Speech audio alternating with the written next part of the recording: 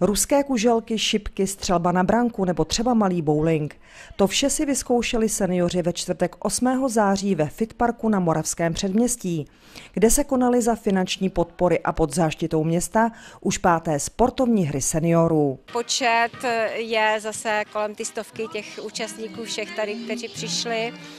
A hlavní smysl je vlastně ukázat to, že seniori na to mají a že vlastně si stráví krásný odpoledne mezi svými přáteli. Seniori si odpoledne užívali a sportovní klání brali s nadhledem. Největší radost měli z toho, že potkali řadu známých a přálo jim i počasí. A jak to vyhodnocujete? Je to, je to příjemné potkání, tahle záležitost? No je. Tak aspoň potkáme jiný důchodce zase. Na to, kolik mě je, a to tak sedm bodů, no. No, nebylo to moc, ale je to legrace, užijem si zábavy.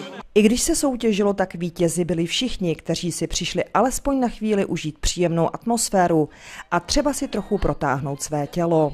Město Hradec Králové podporuje aktivitu seniorů a mezigenerační solidaritu.